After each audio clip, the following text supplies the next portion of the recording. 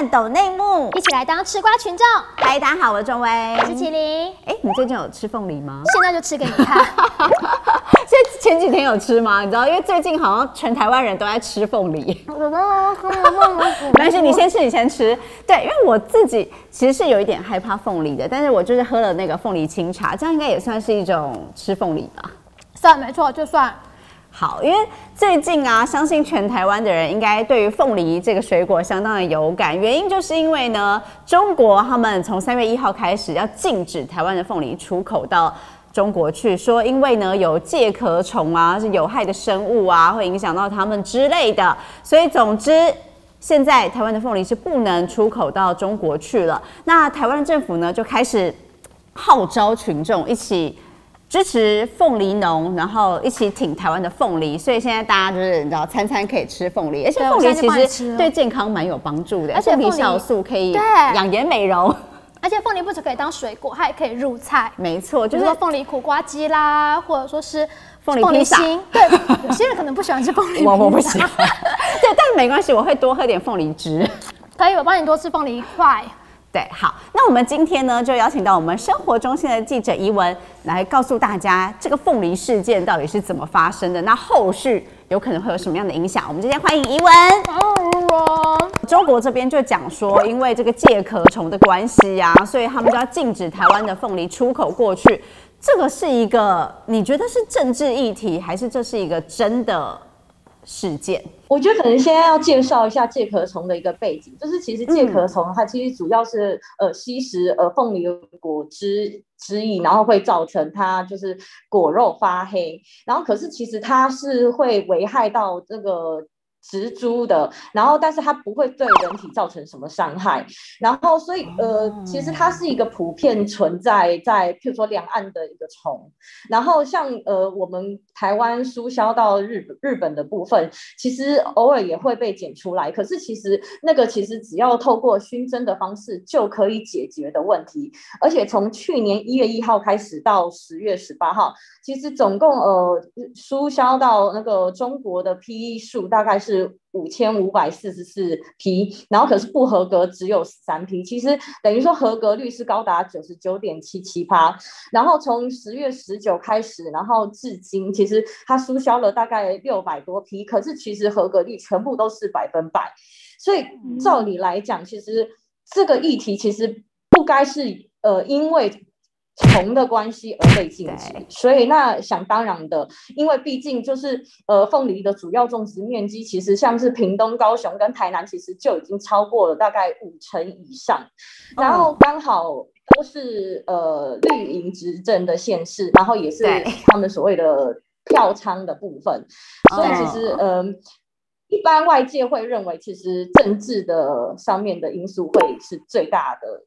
主因，因为那时候也有人说啊，觉得这一招对台湾很贱，可是对中国来讲是一个蛮厉害的一招。因为今年是二零二一年嘛，那明年又要大选了，对不对？对。所以呢，他们出了这一招，那这些凤梨的产地刚好就是在高雄啦、屏东啦、台南，然后这些刚好都是绿营的大票仓，所以直接打击他们，就会让农民陷入一个天人交战。我到底该选意识形态呢？我到底该选我？心目中的候选人呢？还是我必须要顾好我的荷包？那疑问，你觉得这招真的对明年的选战真的会有影响吗？我觉得影响应该没有到这么大。呃，我们就以农民的角度来看的话，确实农民都是种植单一作物，然后如果它的通路又只有外销这个选项的话，那影响确实比较大。但是其实呃，以台湾的凤梨产量，然后再加上如果每年外销其实是大概四万三千公吨，然后中国是占。大概四万左右，等于说是占外销的九十五趴。可是其实它占国内生产的量量来说的话，其实只有大概一成左右。所以其实真的。没有到这么的影响到这么大，是因为其实它确实，它如果转往其他国家或者是呃增加内销的话，其实那个量还是有有望是可以缓解那个状况的。而且确实，其实政府一直主打的不要把鸡蛋放在同一个篮子里，我觉得这个不管是现在遇到还是未来，其实本来就应该要去呃疏解这样的一个状况。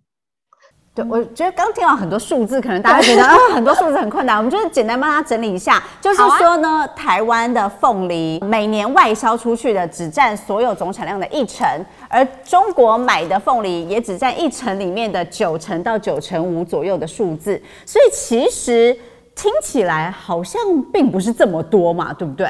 对。那它对于台湾农民？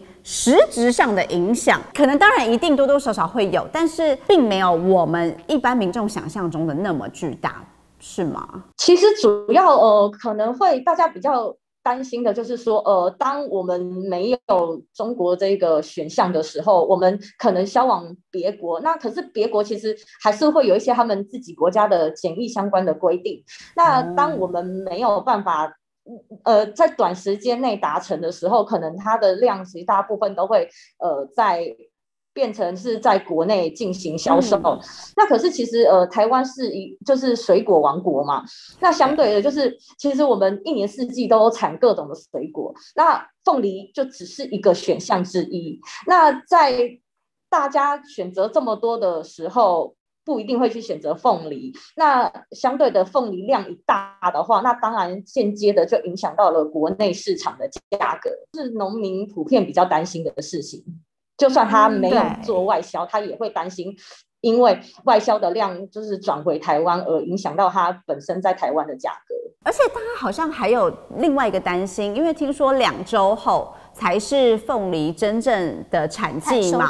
对，那如果政府现在就已经寄出了十几亿的资金来救凤梨，那两周后盛产的时候，会不会有点后继无力的情况？农委会这次呃寄出了十亿的预算，然后呃它的定定的目标是说，这五万公吨外销的五万公吨，其实其中有三万是销往别的国家，然后另外的两万是在国内进行销售这样子，然后就从记者会二十六号开开始到二十八号为止，其实我们国内的，就是应该说这次展现了台湾人团结的心，就是在二十八号晚上，其实就已经有达到了二点九万公吨的一个预定量了。所以，嗯，就是虽然现在还没有产产出，而且产季其实是从三月中到六六月，就是陆陆续续。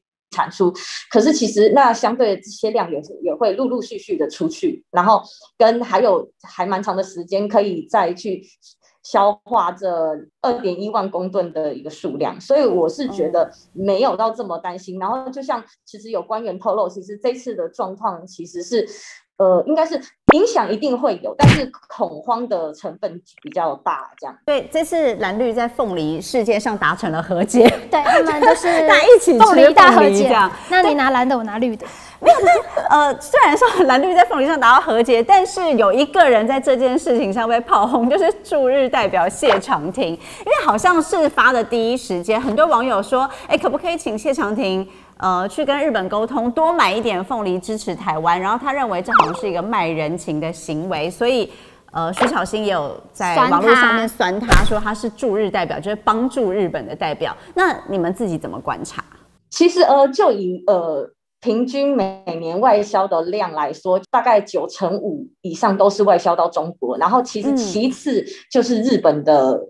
部分，然后它其实是占比是四趴，它虽然只占四趴，但是它其实就是外销的第二名。但是问题是，我是觉得说，呃，他身为就是台湾驻日代表，我觉得不管结结局如何，其实他都应该要先去问一问，聊一了解。而且其实买卖不成仁义在嘛，其实就算他们真的不多买。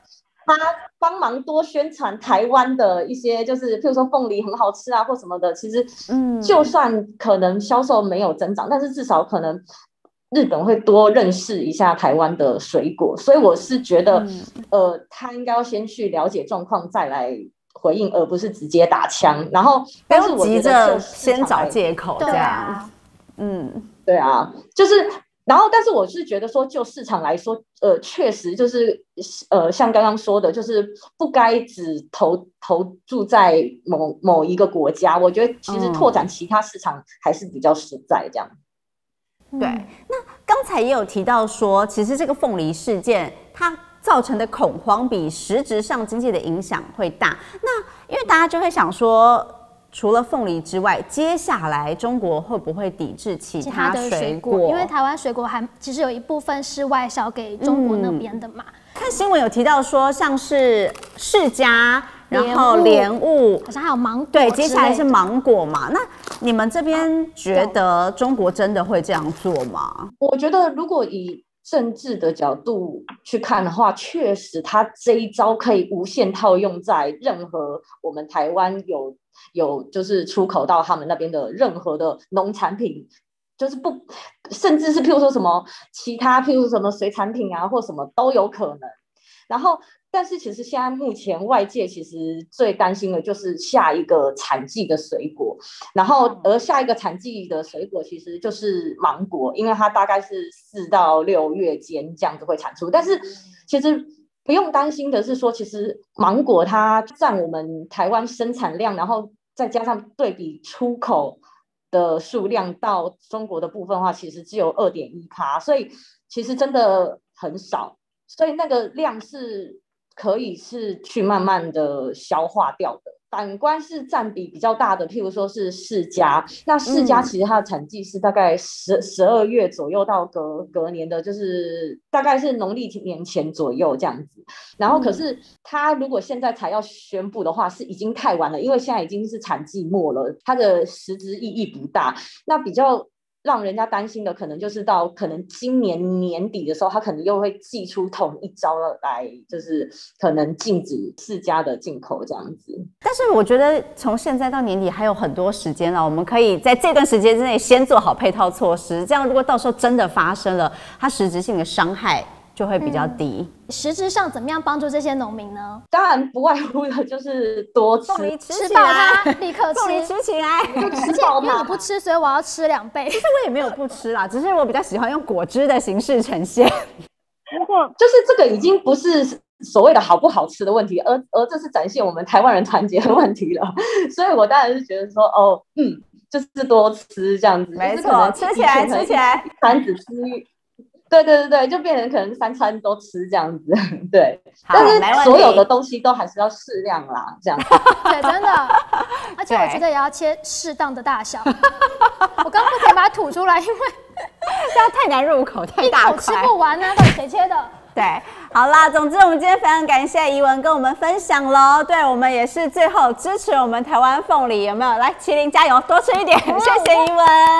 妈妈鼓鼓了，妈妈，拜拜。进行到下一个题目之前，这个人呢，他最近也因为凤梨，他最近也因为凤梨，然后算是被大陆的网友骂了。这个人呢，是消失了一阵子的罗志祥。当当。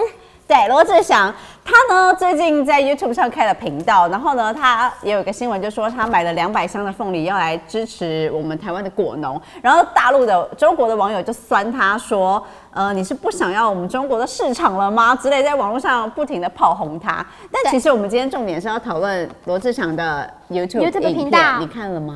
我看了，然后我看完觉得有一种微妙感，就是说不出来的。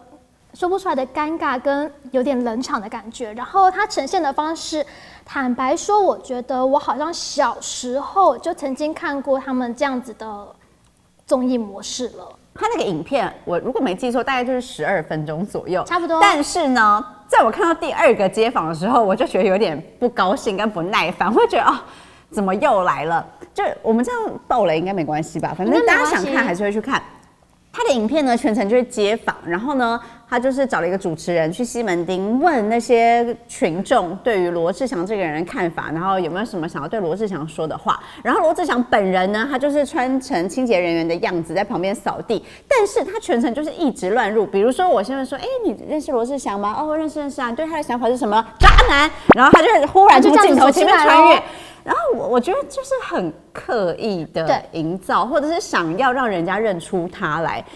这个我觉得是很老梗的综艺方法，对，会觉得不知道是有点心酸，还是有种微妙的感觉。因为在我印象当中，其实罗志祥也算是我小时候常看到他在综艺节目上表现，觉得其实他表现的还不错啊。就是在其他的综艺，或者是比如他演的一些电影，就觉得哎，他其实是一个蛮搞笑的人。对，但是看了他的 YouTube 节目企划，我会觉得是不是以前是工作人员的功劳？这会太过分吗？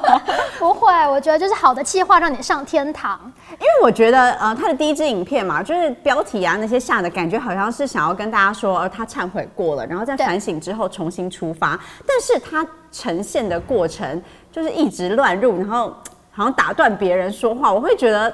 很没礼貌，对，而且他好像还有一句说什么是带风向，媒体带风向的这样子，我就不禁想起了，就是我看了其他艺人的 YouTube，我觉得真的有落差哎。我先讲，我觉得我个人还蛮喜欢萧敬腾跟郑元畅的系列，而且郑元畅真的很好笑，因为他就是找别人去煮菜嘛，就找很多艺人一起做菜，然后我觉得在郑元畅的频道里面，我看到的郑元畅跟我。对他的印象是截然不同的人，因为像他以前演戏剧都是演那种你知道王子般的角色，酷酷的高冷型，对高冷型，但是没想到他是一个，对小植入，对，没想到呢，他是一个非常可爱，然后我觉得有一点反差口，对，很可爱的人，然后重点是因为他的影片里面很多都在喝酒，我就觉得哦，完全中我，这样，就是很想让我继续看下去，我觉得蛮好看的。我的话呢，我觉得罗时峰的还不错。哎，罗时峰的在罗时峰也很可爱，在我腿上。对，大家年轻人会知道罗时峰是谁吗？会啦，因为有看那个啊丝丝广告。哎，我我可以讲说，你要模仿吗？丝感冒用丝丝，感冒用丝丝，用丝丝。咳嗽用丝丝，对，就应该多少都会知道这个人啦。而且他就是有跟蔡雅刚一起重新拍了这个广告，所以我觉得应该会知道罗时丰啦。对，因为在我的印象当中，他可能是一个比较老派的歌手，然后或者是说广告的代言人，但没有想到说，其实他的综艺程度也很高哎，就其实他也可以当个综艺咖。而且我觉得。就是他非常的好笑，他的好笑是一种浑然天成，不是让你觉得刻意做出来的。对，然后他很厉害的地方，我记得人家说过，就是最高级的幽默是自嘲。对，他很喜欢自嘲，我觉得就这点也会让人很喜欢他，就莫名被圈粉。对，就是就算路人不认得他，或者说路人接了一些可能沉默的话，他还是能自己接梗，然后自己做一些效果，我觉得非常的好笑。就在办公室偷看的话，不建议，因为会偷笑，长官一定会发现。对，长官一定会发现。好，那其实嗯，罗志祥他在 YouTube 上拍影片，就等于是一种付出嘛。那你自己怎么看待他想要付出这件事？对于付出，我是保持着乐观以及支持。对，或许很多人会觉得说啊，他是渣男，不应该付出。那以我的角度来讲，我个人会觉得，就是他的私生活和他的演艺事业是，我会把它分开来看。在演艺事业 很厉害的话，你劈腿也不关我的事啊，就是公归公，私归私这样。对，没错。对，但我个人是觉得，因为我看了那个影片嘛，然后里面我记得有个街坊好像就是说，反正他本来就没有 follow 他，所以他 付出也没差，也是。嗯，对，我觉得。反正支持他的人应该就还是会支持他啦。那本来就没有喜欢他或者本来就没有 follow 他的人，也不 care 他到底做了什么。所以他其实只要抓住他自己的粉丝群，我觉得应该就可以了。毕竟小时候以前在 KTV 点歌都会点他的歌嘛。你有印象？你心？对，我们就希望他可以恢复他自己的演艺事业，那就继续走下去，不要再扎下去了，好吗？基于女性的立场。对，好了，那今天最后。要讨论的议题，呃，我觉得是一个比较悲伤啦，其实蛮难过的。我觉得我当初看到这个新闻的时候非常震惊，因为我没有想到，就是陪伴着我们童年一起长大的这位达叔吴孟达，他竟然就这样离开我们了。对我那时候看到的时候，整个吓傻。我那时候在吃饭，就看到那手机就，就觉得啊 怎么可能？真的假的？因为从有对电视有印象、对电影有印象开始，其实他算是我们的启蒙老师。哎，嗯，对，小时候在跟家人一起看电视，我记得我第一部看的电影就是这一部《九品芝麻官》，经典台词，对，很多经典台词，超级无敌多。你有什么印象？我还有点饿，我肚子还有点饿。对，有哎。对，那你呢？你呢？我想写个惨字，我要写个惨字 啊！我死啦啊！我完了，就感觉你知道，台湾人的人生里好像不太可能没有看过吴孟达演的戏，就至少我们这个年龄层了。对，而且就算你没有看过他演戏，其实他在电影里面讲的一些话，其实到现在都还是 PTT 的热门用语。求上车，我没上车啊！我没上车。对，或者说，比如说什么，呃，我这辈子这种要求我从来没有听过。像这种要求，我这辈子都没见过。我这里有一批牛肉，好便宜的。有批牛肉很便宜，有兴趣就打这个电话。对，他经典台词真的很多哎，我们来看一下哦。哎，里面其实真的很多啊，像对啊，食神啊，大话西游这个也是啊，跟牛魔王出来看上帝。娘子。跟牛魔王出来看上帝，逃学威龙也有啊。我记得大家有讨论那个呃，作弊是不对的，作弊是不对的，作弊是不好的。我们回家吧。啊，没什么事，我们先回去了。之类的，作弊是不对的很多哎。来，现场的大家有没有什么印象？有没有经典台词？对你自己心目中的达叔，来，台北的温先生，温先生请说。三叔，你们打，你们打。三叔。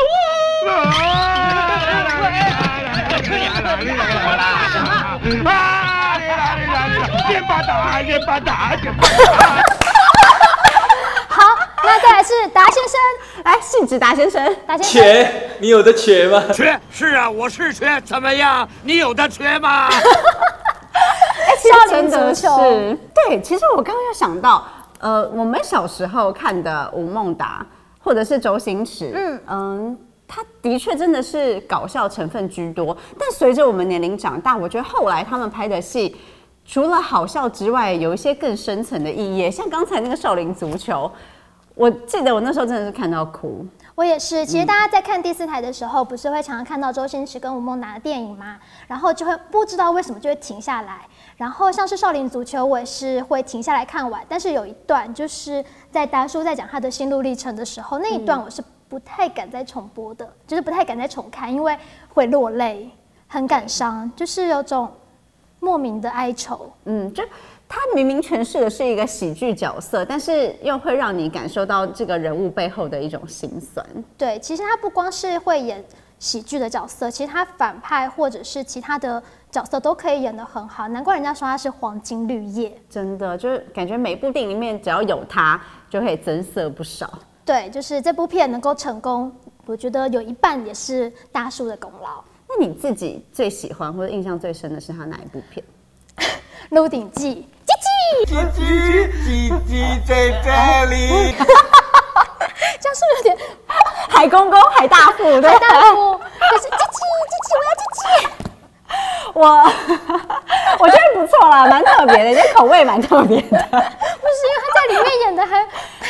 惟妙惟肖，对吧？很可爱。我我觉得我自己最喜欢他的电影是《与龙共舞》。五彩有情，阿月刘德华那个什么大屿山的神侠书之类的。给你三秒钟忘记我的长相。我限你在三秒钟之内忘记我现在的样子。神港奇兵。对对对对对，我觉得真的是你知道童年里面不可或缺的人呢，伴随着我们长大。真的。好了，他现在就真的是离开我们了，有觉得有一点。呃，我的童年或者我的青春逝去了的感觉，就会觉得这是真的吗？他真的不在我们这个世界了。希望他在另外一个世界也能够开开心心的。嗯，反正他的作品还是会持续的伴随着我们，大概直到我六十岁，我可能还会再看吧。对我可能就算死前可能还会继续看，再回顾一下《鹿鼎记》吗？对。好啦那我们今天呢就跟大家讨论到这喽相信大家心中都有一个大叔对欢迎以下留言告诉我们你心目中觉得最经典的台词是什么。那如果喜欢我们今天影片的话呢记得帮我们按赞订阅分享开启小铃铛。那我们就下次见喽大家拜拜。拜